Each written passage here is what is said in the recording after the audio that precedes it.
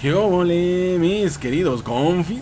Bienvenidos a un nuevo videito, yo soy el Chavit y el día de hoy mis queridos confitones, mis hermanos, mis cracks, estamos en un nuevo gameplay de Rock Company. Y pues bueno, como ya lo leyeron allí en el título o en la miniatura, el día de hoy chicos vamos a hablar acerca del nuevo modo juego de Battlezone, así es señores, y pues bueno, antes de continuar con el tema, pues bueno, ya sea bien allí en la pestaña de comunidad puse una encuesta en la cual me gustaría saber qué tal les está yendo, ya sea bien, en lo que es en este nuevo modo de juego, que les parece, que les gusta o no les gusta, o pues bueno, simplemente es tres opciones de las cuales pues bueno, obviamente pueden responder alguna, o si quieren dejar algún comentario adicional, lo pueden hacer ya sea bien ahí en el cajón de los comentarios donde se encuentra la encuesta. Después de haber dicho esto, señores, ahora sí, vamos a platicar acerca de lo que es este nuevo modo de juego de Battlezone, que la verdad es de que pues mucha gente, incluyéndome, estábamos esperando, porque pues bueno, aparentemente sentía que, era, que iba a ser un buen modo de juego. Y la verdad es de que es un buen modo de juego. Sin embargo, la verdad es de que hay muchos errorcillos que hay que corregir, obviamente. Pero la verdad es de que, pues bueno, más que nada vengo a hablar de qué lo haría yo para poder mejorar. Y es que hay muchas cositas que me he dado cuenta que la verdad es de que salen sobrando en este modo de juego. Además de que, pues bueno, también hay otras cosas que las cuales, pues no sé, siento que no está chido, ¿no? Pero bueno, en fin, ¿a qué me refiero con todo esto, chicos? Pues resulta que después de haberlo estado jugando pues ya dos días consecutivos, este, pues bueno, ya durante casi más de 8 horas, casi 10 horas, ¿vale? Ya que pues bueno, a veces no necesitas tanto tiempo para poder determinar, digamos, cómo está ese modo de juego o cómo está un juego, vaya, ¿no? Entonces, pues bueno, la cuestión del día de hoy, señores, es más que nada mencionar qué es lo que yo le haría para poder mejorar. Y lo primero con lo que voy a comenzar van a ser ya sea bien con lo que es el daño de las explosivas. Así es, chicos, pues bueno. Les cuento, lo que pasa es de que, pues bueno, ya como todos sabemos, o la gente que ha jugado y ha probado el Battlezone, pues bueno, sabemos que hay ya sea bien lo que son algunas Claymore, ¿vale? Sabemos que ahí es lo que están las Claymores y también sabemos que, pues bueno, obviamente están las granadas y, pues bueno, las de fragmentación y las de Centex. Aparte de eso, también los C4. Y es que, pues bueno, la verdad, para mí, sinceramente, las Claymore realmente no sirven absolutamente de nada. Y no es porque, pues bueno, le esté tirando hate al juego, no, no, no, no, no. Sino simplemente porque pues bueno, obviamente las Claymore no tienen, digamos, no tienen esa capacidad para poder ya sea bien bajar a alguien en este modo de juego. ¿Por qué? Porque simplemente por el hecho de que eh, tenemos escudos, vaya, ¿no? De alguna manera pues tenemos lo que son los escudos, este, tenemos mayor vida, etcétera, etcétera. Digamos que las Claymore nada más sirven para la primera ronda. ¿Por qué para la primera ronda? Porque sabemos que en la primera ronda normalmente no suele haber escudos, ya sea bien en lo que son en las cajas, o ya sea bien no puedes comprarte un escudo, un chaleco. Entonces, posiblemente para la primera ronda te puede funcionar perfectamente bien. Pero si estamos hablando de que ya eh, después de la segunda ronda, pues bueno, ahí ya está un poco más complicado porque sabemos que en las cajas ya empiezan a haber chalecos. Entonces, tienes tantito lo que es el chaleco y luego más aparte si te compras el otro chaleco que viene ya sea bien como ventaja, pues obviamente tienes mayor vida. Entonces, pues obviamente las Claymore no tienen ese, ese poder de explosivo, no tienen ese poder para poder bajar a alguien. Y se los digo, no crean que se los digo nada más porque sí, porque me lo estoy inventando ni nada de eso. No, no, no. Lo estoy diciendo porque ya me pasó. En el tiempo que he estado jugando, he agarrado las Claymore, las he puesto y es que realmente no le haces absolutamente nada de daño. O sea, a ver, si le haces daño porque obviamente le quitas chaleco, le quitas vida y todo ese rollo, pero no los eliminas. Y la verdad es de que sinceramente me ha pasado que pongo la Claymore, ¿vale? Pongo lo que es la Claymore y pues bueno, obviamente pasan por ahí, le quitas vida y todo ese rollo, pero al final te terminan matando. ¿Por qué? Porque pues obviamente de alguna forma te confías en que pues, eh, ¿cómo se llama? Te confías en que pues la Claymore lo va a eliminar, vaya vaya, discúlpeme ahí, pero confías en que la Claymore lo va a eliminar o bueno, por lo menos lo va a noquear y es cosa que no sucede. Además de que, pues bueno, ya cuando traemos chalecos, en este caso dorados, que es que digamos entre morados y dorados, ¿vale? Que pues bueno, son los que mayor eh, protección te dan. Pues obviamente al momento de pasar en una Claymore, pues bueno, te quitan parte del chaleco, pero aún así te dejan como a 60, 70 de vida. Entonces, la verdad es de que siento yo que la Claymore pues no funciona como tal, ya que pues obviamente lo que es el chaleco evita que, te, que seas noqueado. Entonces, ¿de qué sirve que compres o gastes dinero en las Claymore si no van a hacer su función. Ok, sí, voy de acuerdo en que van a decir el típico, ya saben, porque es que ya me la sé, chicos. Ya me la sé que va a venir ese que le hace falta un poco de, IQ en su cabeza y va a decir el, la típica respuesta de pues no las compres. A ver, compadre, si están ahí es como si yo te dijera pues no uses escopetas y me vas a venir a decir con tu IQ de cero, a decirme pues es que para eso están. Entonces es lo mismo, es lo mismo, señores. En este caso, pues bueno, las Claymore están para para usarlas al igual que las escopetas. Entonces, pues en este caso, sinceramente siento que la Claymore no tiene esa función que normalmente tiene en otros modos de juego. Vuelvo a repetir, podría funcionar en las primeras rondas, en la primera ronda, ¿vale? Pero ya después ya no podría funcionar. Lo único que sí me gusta es de que, pues bueno, obviamente no se te regenera la salud, vaya, ¿no? O sea, no se te regenera la salud y de esa manera, pues bueno, así como que sí es una gran desventaja, vaya, ¿no? Pero normalmente las Claymore no funcionan al 100%.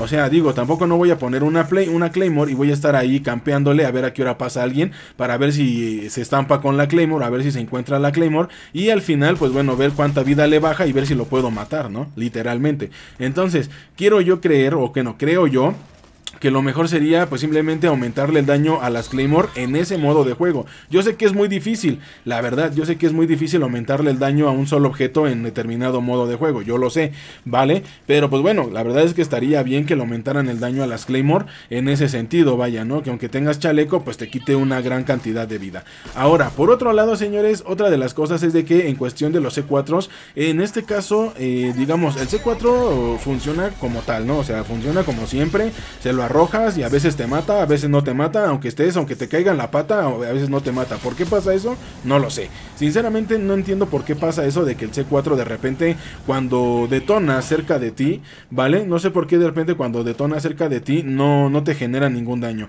¿Y por qué lo comento? Lo comento precisamente porque ya me pasó. Así es, ya me pasó, señores. La verdad es de que el día de ayer que estaba en el directo aventé 12 c uno que yo, uno cayó en la mera ventana, uno cayó en una ventana, en la orilla de una ventana donde el compi estaba pues precisamente al lado de la ventana o al, adentro digamos de, del edificio, del cuarto, la casa, como le quieras llamar. Y pues bueno, al momento de detonarlo, el compa estaba ahí al lado del C4 y no le pasó absolutamente nada. Después arrojé un C4 y al compa le cayó en el pie. O sea, literal, confi, el, el, el C4 le cayó en el pie y tampoco no le pasó absolutamente nada. Entonces hay que ver eso, hay que arreglar eso porque realmente los C4 sí funcionan bastante bien, te ayudan pero no están de repente cumpliendo con su función si es que tienen este error. Entonces hay que solucionar eso también. Ahora, por otro lado, siento que también el modo de juego, no sé, yo creo que muchos esperábamos que realmente fuera un poco más frenético. Como que fuera un poco más rápido, como que fuera, no sé, digamos que el Battle Royale, bueno, en este caso el Battle Zone, realmente es como que a veces muy, muy, muy, muy táctico, muy, no sé, no lo sé, así como que muy lento y como que vas muy, muy despacio y todo ese rollo. Entonces, sinceramente yo espero, yo esperaba que el juego fuera un poco más frenético, o sea, como que rusheas, matas y tan tan se acabó, ¿no? Entonces, pues bueno, es cosa que tampoco es así. Entonces, pues bueno, obviamente ya después cuando depende del equipo que te toque, ¿vale? Obviamente también depende mucho del equipo que te toque para saber si es tryhard o puedes agarrar y andar ahí rusheando, que la partida sea frenética, que sean los combates así super cañón, muy buenos y todo ese rollo. Y por otro lado, pues bueno, la verdad es de que si te toca un equipo que le gusta andar campeando y le gusta andar ahí como que a ver si alguien pasa y todo ese rollo, pues la verdad es de que está cañón porque la partida se vuelve muy aburrida.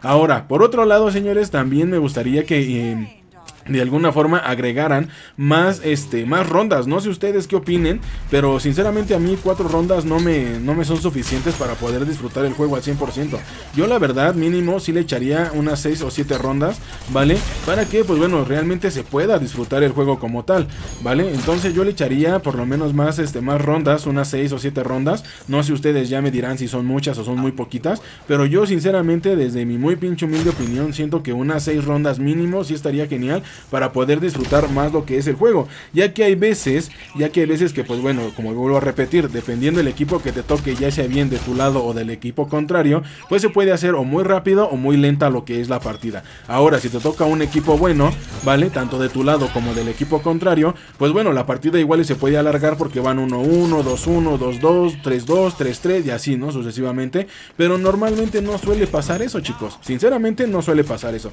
Y al que le pase eso a cada rato en cada una de las partidas, pues qué chido. Espero que lo disfrutes, porque la verdad a mí no me suele pasar eso. De, cada 10 partidas que yo juego, por lo menos en dos partidas me tocan así rondas que se alargan bastante. Después de ahí o de allí en fuera, pues bueno, siempre me tocan equipos que pues eliminas ya sea bien de manera pues inmediata, literal, ¿no? Entonces eso me lleva al siguiente punto, que precisamente como los eliminas ya sea bien eh, de manera inmediata, empieza a haber mucho abandono de partidas. Sinceramente empieza a haber mucho abandono de partidas, muchos, muchos jugadores que agarran y se van. Y esto sí es abandono de partida, chicos, y eso hay que reportarlo. Cada vez que alguien se salga de una partida hay que reportarlo, porque pues bueno, eso no es de alguna conexión, eso no es de que te falle la conexión, eso no es de que te haya sacado el modo de juego. No, no, no, no, no, porque eso ya sabemos que de un tiempo para acá ya casi no te pasa eso. Ya casi el juego el juego ya casi no te saca de partidas, así de que no me puedes venir a decir de que es que me saca de la partida. No, no, no. Es muy contada las veces que te saca de la partida. Y no me van a dejar mentir, chicos. La verdad, hay que ser sinceros. Entonces, lo que pasa aquí es de que cuando ven que el equipo va perdiendo, pues ¿qué es lo que pasa? Que agarran y se van. ¿Vale? Que eso es lo que pasa, que agarran, se van, abandonan y ya dejan al otro equipo nada más con tres. Y esto se vuelve todavía más aburrido porque si de por sí, de por sí nada más son cuatro contra cuatro. Uno de tu equipo no hace nada. Terminan 3 contra 4 y luego encima se te va otro, pues o sea, de plano de plano la partida se vuelve muy aburrida para obviamente para el equipo que va ganando y se vuelve muy frustrante para el equipo que va perdiendo.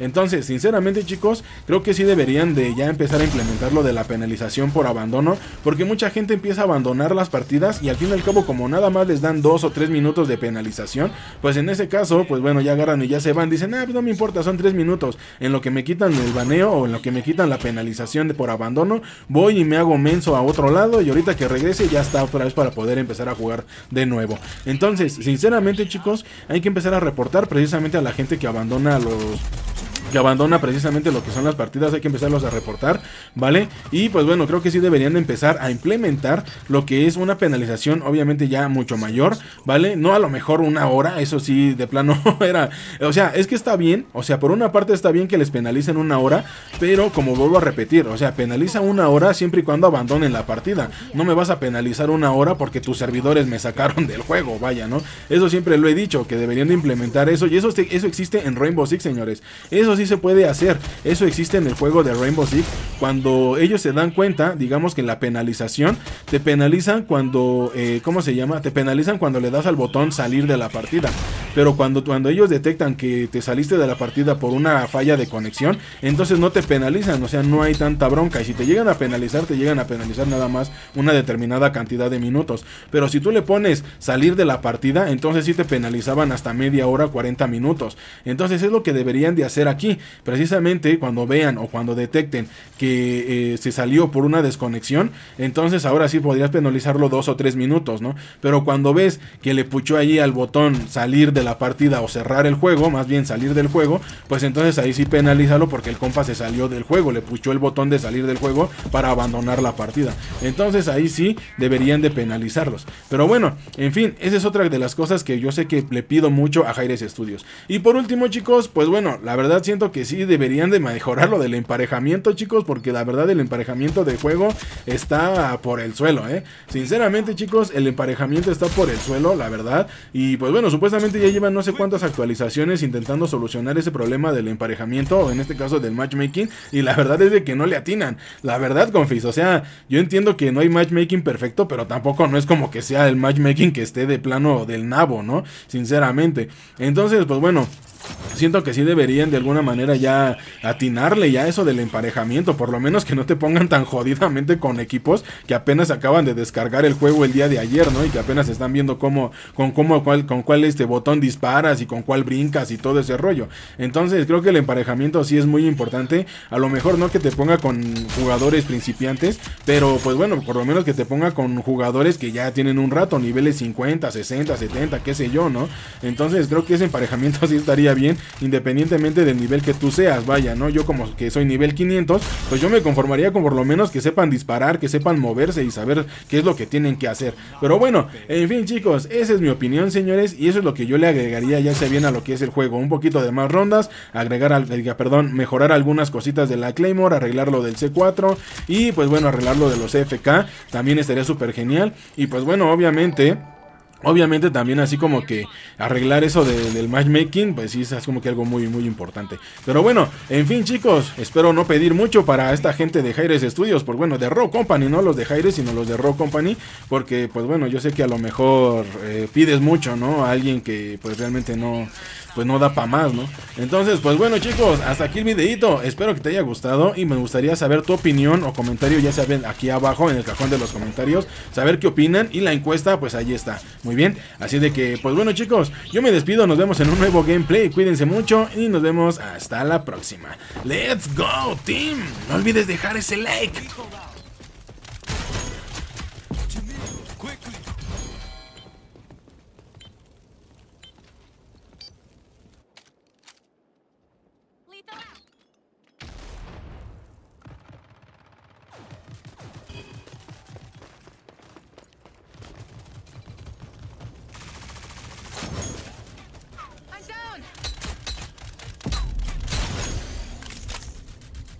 Lethal.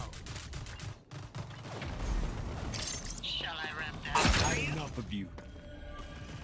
Nice work, team.